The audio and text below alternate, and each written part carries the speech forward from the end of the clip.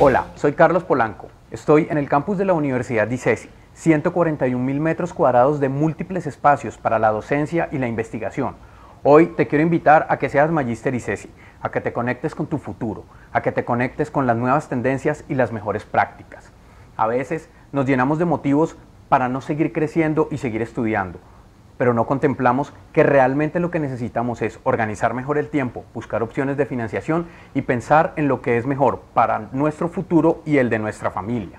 Me acompaña Fernando Moreno. Él es el director de la Maestría en Atención Integral a la Primera Infancia.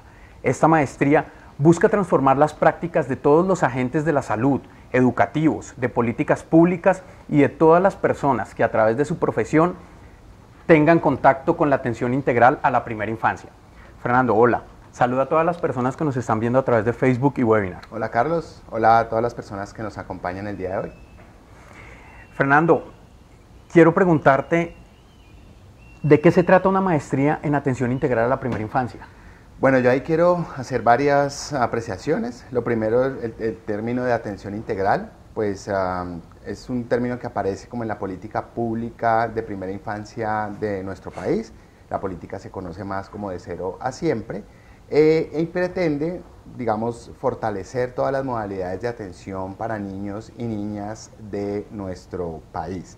Con atención integral no solamente nos referimos a aspectos educativos, sino aspectos de la salud como el crecimiento, el desarrollo, la nutrición, aspectos de orden emocional eh, y digamos ya hay propiamente aspectos de orden educativo no escolarizados, o sea, no estamos pensando en niños que se van a escolarizar, sino en el desarrollo del juego, de la corporalidad, de la psicomotricidad, de los aspectos cognitivos, de la exploración del medio ambiente, de su expresión artística. Entonces, una maestría en atención integral pretende ofrecer a los estudiantes eh, todas las herramientas para pensar de qué manera eh, se puede potencializar el desarrollo de niños y niñas a nivel nacional e internacional, porque hay algo que vamos a discutir que tiene que ver con que la maestría es eh, en modalidad virtual, es decir, está abierta para población que no solamente reside en Colombia, sino en otros países de habla hispana.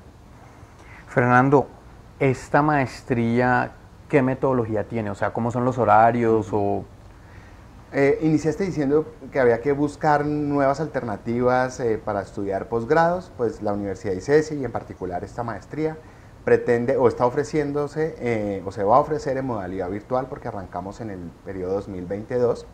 Eso significa que no hay ningún tipo de actividad que se haga dentro del campus físico de la universidad, todo se va a hacer dentro de un campus virtual en una plataforma eh, especialmente diseñada pues para este tipo de programas. Y em, en principio lo que se espera es que las personas dediquen unas 20 horas eh, semanales, unas 20 horas a la semana, para tomar dos cursos al mismo tiempo. Voy a poner un ejemplo. Ya estamos haciendo la programación del próximo semestre y uno de los cursos se va a llamar Desarrollo de Infancia. Ese curso eh, va a durar 10 mm, semanas y al mismo tiempo los estudiantes van a ver un curso que se llama psicomotricidad y juego. Ese curso dura siete semanas, entonces van a estar los estudiantes, viendo en paralelo los cursos.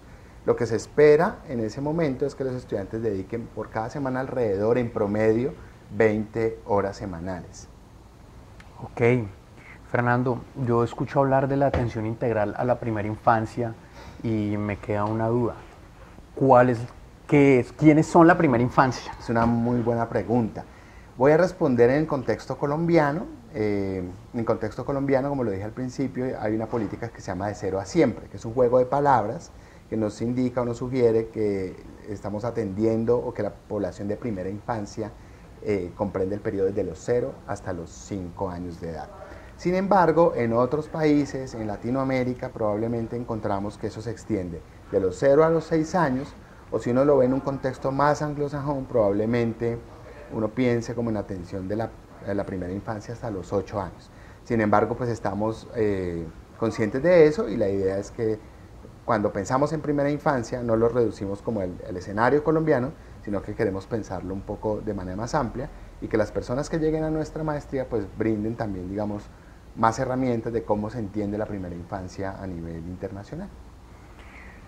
Estabas hablando de las personas que, que llegan a la maestría.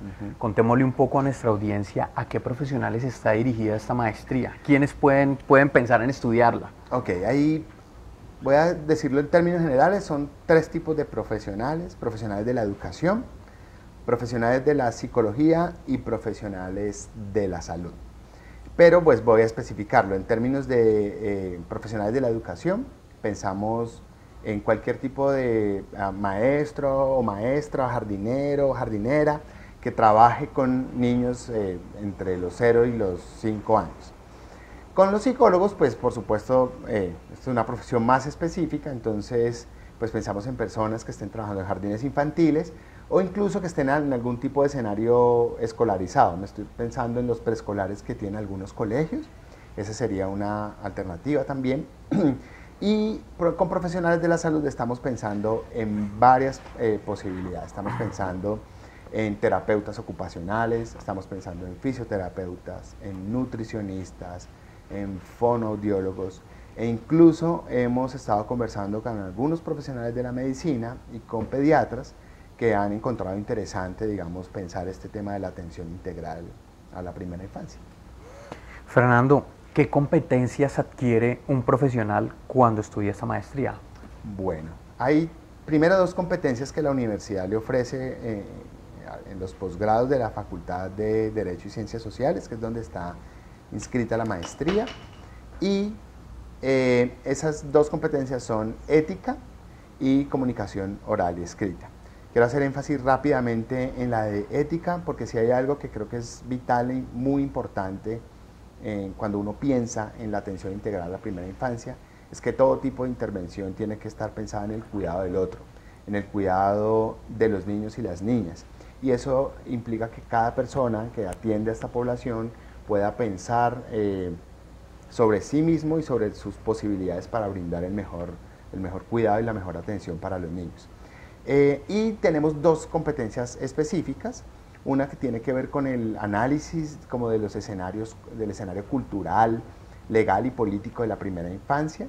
La idea es que las personas entiendan, eh, dependiendo del contexto en el que trabajan, del país en el que viven, entiendan que hay un contexto particular en que la infancia es definida y, pensada de formas variadas. Entonces, eh, la idea es que podamos entender eso, también los aspectos legales, pero el punto de vista cultural nos, nos parece muy relevante porque a veces las, las atenciones, como se denominan a, veces al, trabajo que se hace con primera infancia, pues se hacen de manera como, o se pretenden hacer de manera estandarizada.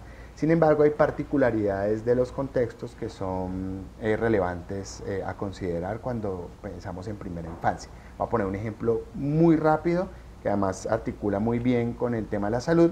Hace poco leía una investigación sobre hipertensión arterial que hacían unos profesores eh, en el Chocó y ellos pues evidentemente los alimentos salados pues son un factor de riesgo para la hipertensión. Y ellos descubrieron que en el Chocó se comía digamos muy salado pero eh, también descubrieron que había unas prácticas ancestrales en las que la sal conservaba los alimentos, es decir, la gente no comía salado porque quería, sino que había unas prácticas ancestrales. Y había que, digamos, partir de entender, de entender ese elemento cultural. Como una tradición. Exactamente. Entonces, ah, aquí sobre el cuidado de los niños puede haber muchas prácticas. Personas que trabajen con población indígena en este momento, tendremos que considerar pues cuáles son las prácticas y debe entender, eh, debe analizar el contexto cultural. o sea, la maestría se, se, adapta como al contexto de... Sí, sí, es decir, le ofrece herramientas a los estudiantes para que, a los estudiantes para que primero analicen el contexto en el que mm, trabajan y no partan de supuestos, digamos, que pueden tener de su formación profesional. Es el análisis del contexto el que se ofrece como una competencia de egreso del estudiante. Y la otra, y tal vez la más central, es que la persona que estudia esta maestría va a tener la, capacidad de diseñar, implementar y evaluar estrategias de intervención que potencialicen el desarrollo de niños y niñas en los contextos donde se está trabajando. Me gusta mucho hacer énfasis en la idea de diseñar, diseñar cualquier tipo de intervención, luego implementarla porque vamos a tener una línea de, de, implementación, de trabajo aplicado y hacia el final de la maestría vamos a activar algunas herramientas para evaluar la calidad de esas intervenciones que se han diseñado e implementado. Fernando, mm, entrando ya en el grueso de la maestría, expliquémosle a nuestra audiencia qué enfoques se abordan durante, durante el estudio. Pues en realidad nosotros tenemos como enfoque, mm, pues el enfoque es digamos de atención integral en principio, pero tenemos como unos componentes muy importantes que tienen que ver con desarrollo infantil. Eh, tenemos un grupo de profesores expertos y expertas en el tema de desarrollo infantil y allí va a haber, digamos, un enfoque grueso para entender, primero porque hay que entender qué pasa con los niños y las niñas de los cero al primer año de vida. A veces se cree que los niños de cero a un año, pues como que no tienen ninguna habilidad o ninguna competencia, pero en realidad vienen dotados de muchísimas habilidades que ellos ponen en interacción en, los contextos donde los niños viven. Eh, y también es importante entender pues, del, qué pasa del primer al quinto año de vida. También vamos a tener como unos enfoques que tienen que ver con las líneas de formación, en intervención, en estrategias de, diseño e implementación de actividades en, los contextos para la atención a la primera infancia. Y vamos a tener unos enfoques también de trabajo sobre eh, investigación. Conceptualmente, digamos, partimos del hecho de reconocer que los niños y las niñas son, digamos, sujetos psicológicos desde que, desde que nacen, de que hay que reconocer sus capacidades del, del momento del nacimiento, de que son sujetos de lenguaje, eso quiere decir que incluso pueden, llamémoslo así, dialogar, incluso cuando no hablan, los niños y niñas pueden dialogar con los adultos y es muy importante que las personas que los atienden puedan entender cuáles son las particularidades de ese, particularidades de ese diálogo.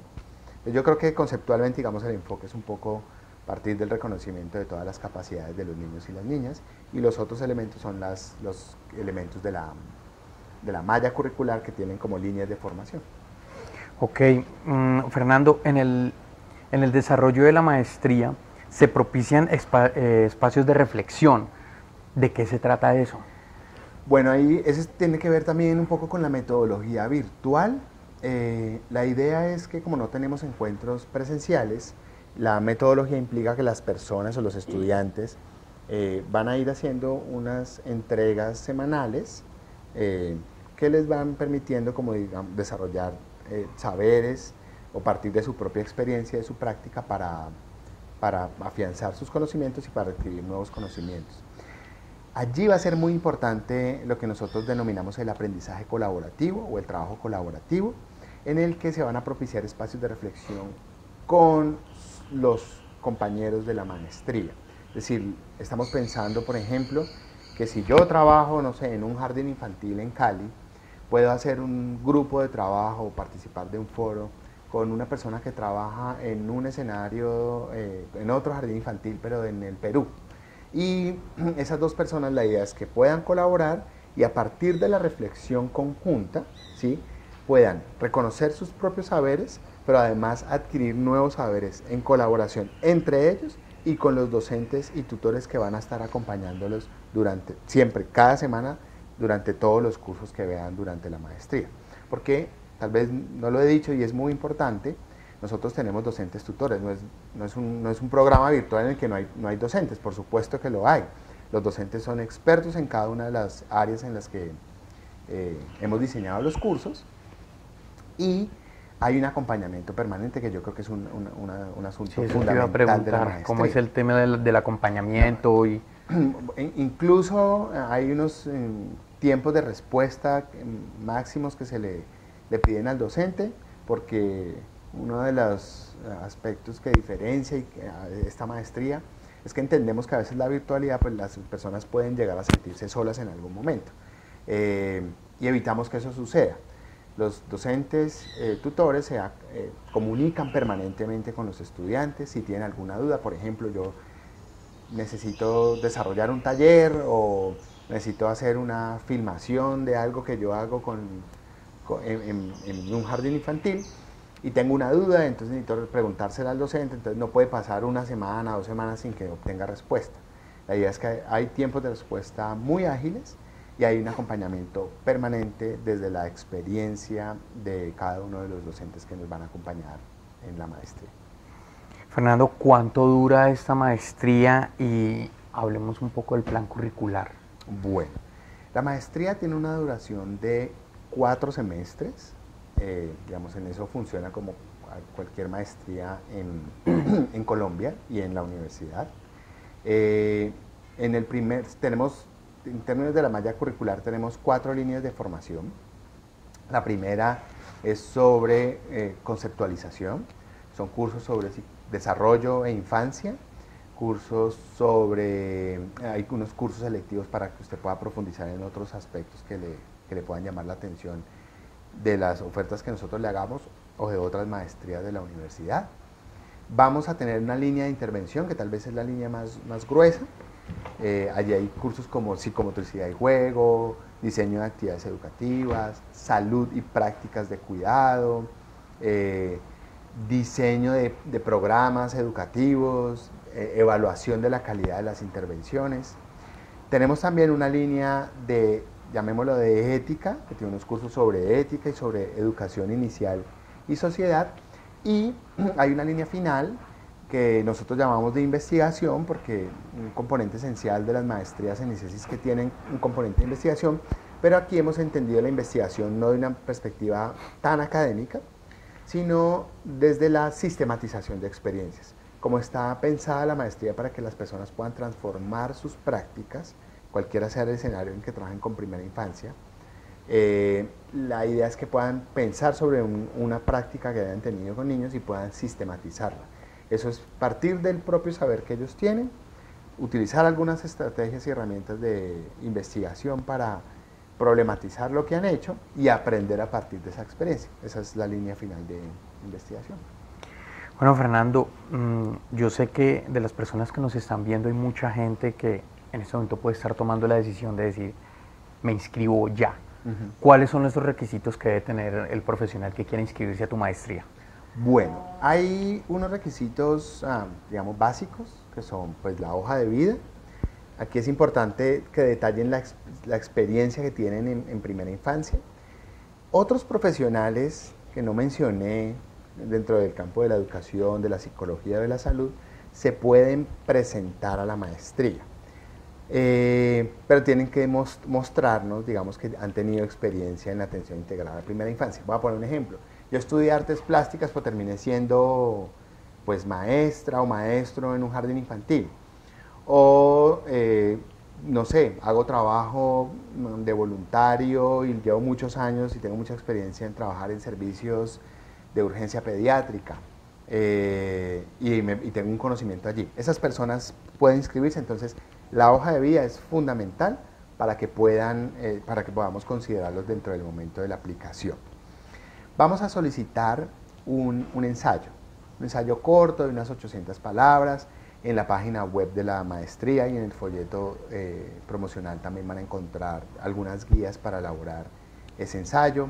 Si no, me pueden escribir perfectamente a mí. A mí en la página web está también eh, mi correo electrónico, ahora no sé si podemos darlo. Y mm, eh, además del ensayo de la hoja de vida, como una carta de, aplicación. si, si las personas trabajan pues se le puede pedir esa carta a sus empleadores. Si tiene práctica independiente, soy un médico pediatra, soy un fonoaudiólogo, pues lo pueden eh, hacer sin ningún inconveniente, envían pues una carta explicando como los motivos de su interés.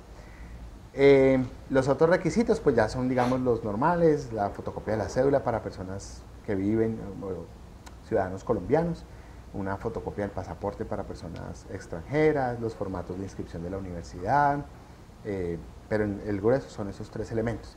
Y finalmente cerraremos con una entrevista vía Skype o algún otro medio pues, que la persona disponga para, para poderse reunir con el director. Digámosle el correo a las personas que... Bueno, mi correo es famoreno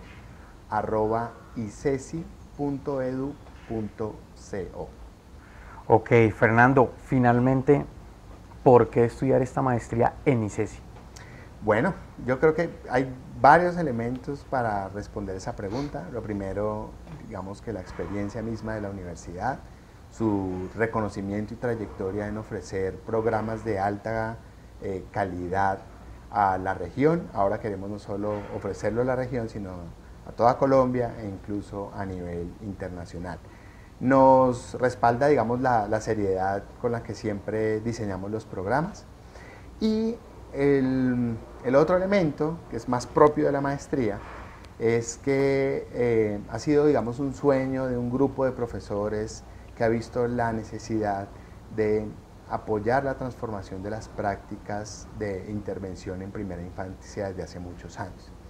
Profesionales de la psicología, tenemos por ejemplo ingenieros de alimentos, eh, licenciados en educación física, eh, vamos a tener otros profesionales que nos van a estar ayudando en el diseño de los cursos, pero todos han tenido una vasta experiencia en los jardines infantiles, en los contextos de atención integral a primera infancia, y esa vasta experiencia quiere ponerse al servicio de aquellas personas que consideran que necesitan afianzar o mejorar sus prácticas. Entonces todo ese equipo eh, profesional eh, trabaja de manera muy articulada, nos reunimos, siempre nos gusta reunirnos a discutir sobre los diferentes cursos, sobre las necesidades que encontramos en el campo y con base en eso pues hemos pensado en ofrecer las mejores herramientas para los profesionales que están interesados en, esta maestría.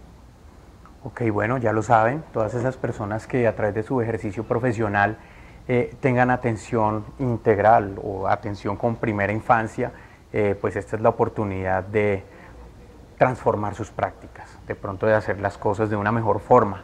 Eh, les agradecemos mucho por acompañarnos, Fernando, muchas gracias por acompañarnos.